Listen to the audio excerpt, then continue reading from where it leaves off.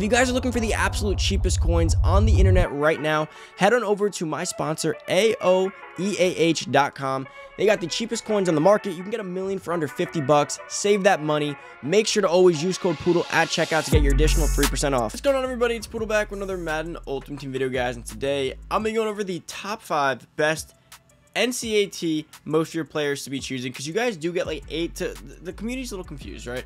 Based on what we saw yesterday, because it wasn't exactly clarified, we seem like we're getting anywhere between 8 and 10 NCAT players because there's at least from the there's the objective list, there's like three or four from solos, there's an auctionable, which I'll throw into the NCAT, right? Like total. There's the yard. There's going to be the house rules. I don't know. All in all, there was a ton of free players you can get. So I'm ranking my top five. Now, why am I doing top five? That pretty much means anyone beyond the top five. I really don't like too much. Now, if you have to, for whatever reason, take more of them because you there's just so many of them.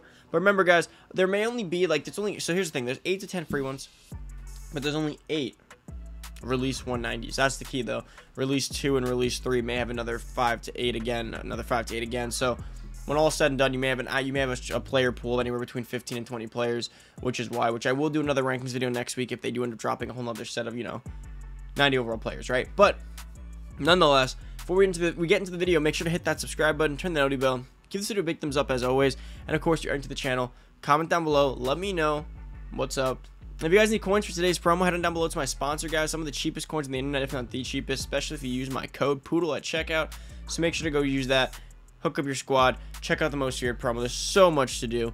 But guys, nonetheless, let's get into the rankings. Coming in at number five on the list, we're gonna get Leighton Vander Esch. Now, why is he number five? Why is he not lower? Why is he not higher? Right?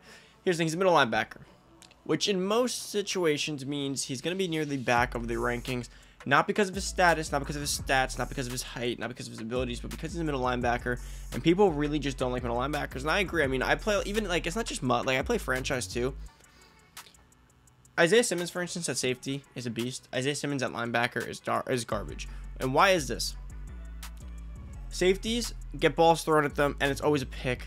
They it's always a pick. At linebacker, it's never a pick. Like I've seen balls thrown right at right at my user, and I can't pick it. It's so frustrating. You pretty much need lurker for linebackers to be able to jump, which is super stupid. Because like, I like, and, and it's one thing I have. I have a Oweh however you say his name for the Ravens. He's six foot five, 90 speed, and he gets balls right at him. He's huge. Can't get the pick. It's impossible. So Leighton Vander Esch is going to be suffering from the middle linebacker, plant seed in the ground, plant in the ground tree, right? That's going to be the problem. Otherwise, he's not horrible. I mean, 88 speed, 90 excel. Decent athleticism. Now, here's the key, right? These are NCAT cards. So you want to realize, too, is that these cards will be stuck on your team. You can't sell them. So people hate linebackers, right? Maybe you don't even have, maybe you have, like, I had gold linebackers in my team. Like, maybe you don't even have any linebackers because you don't use them. So what you do is you take Leighton and increases your overall. It is, right? Like, my, my take on it is this. You have to increase your overall to complete certain Kam Chancellor objectives, to get certain things in the game, or just to look better, right? But you don't want to spend money on linebackers, you're not going to use them. If you have eight free ones that you're getting, right, or plus, take take a free Leighton. Just throw them in there. Throw them as your linebacker, too. Increase your overall. And then again, if you ever actually get one you like, like a Ray Lewis most feared that comes out, let's just say, put a measure two. Not the end of the world. He has above 80 zone, above 80 hit power, above 90 tackle. He's a decent card. I mean, he's not bad. And like I said, he's good to fit a position that no one likes to pay for. This guy's we have Xavier Rhodes, cornerback for the Colts. Now, Xavier Rhodes, the reason he actually would have been higher if he had better coverage. But end of the day, here again, why he is where he is, He's a depth position. You can have up to four to five corners, right, um, that you want to use. Because of that, you'll never find yourself in a position where like, oh, I can't get any cornerback. I have Xavier Rhodes right now. If you took a Nat quarterback, quarterback, for instance, you're like, well, I want the new guy. That guy's done, never playing my team. He lasted two weeks, right? Xavier Rhodes, I'll say right now, he's your number two corner overall wise, right? In a week or two, you get this most feared Jaire Alexander, right? He's your third cornerback. Then it by November, you get this Thanksgiving cornerback. Now, Xavier Rhodes is your four cornerback, but it's now been two promos, and he's still making your lineup, right? It's not bad. Um, 90 speed, 90 excel. He'll get 90 agility. He'll get 91 speed powered up. 89 press, 89 play rec, 88 man, 88, 87 zone. He gets close, like with 93 jumping to like he gets really close to being a really lockdown corner. He just quite he just misses it, which is on purpose probably. But that's my fourth guy.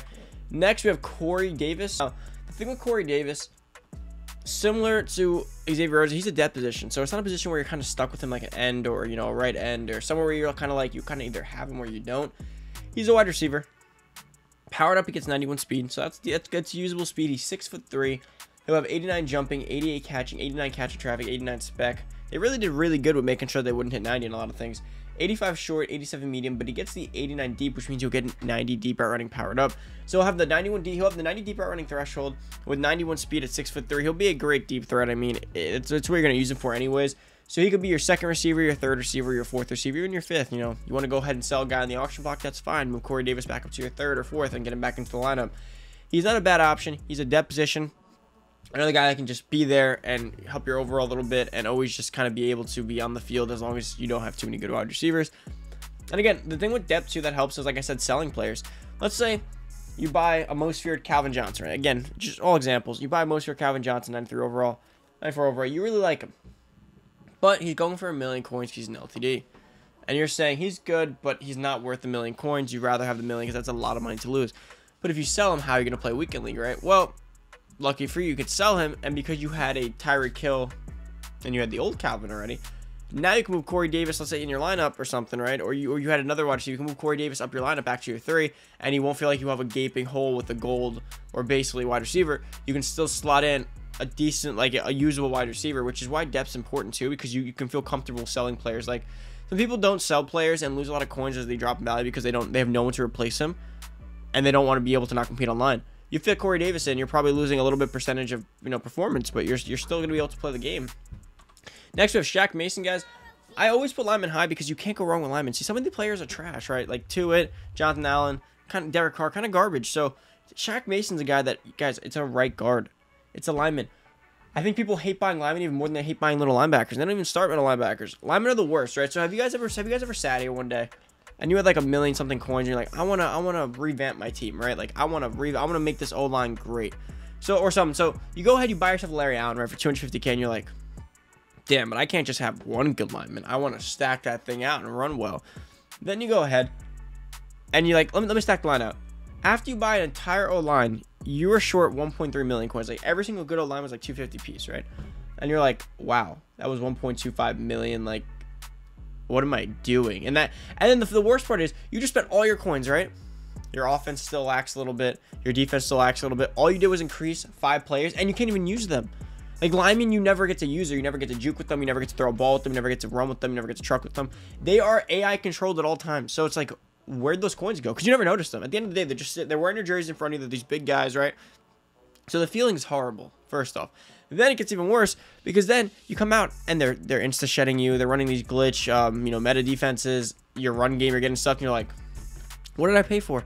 That is why NCAT linemen are the best thing because Shaq Mason will increase your overall. He'll look good doing so on the O line. And the end of the day, you won't have to pay for one. He will just be there, and you will equally have a good run game as much as you get insta shedded and run destroyed by good meta defenses or good users, right?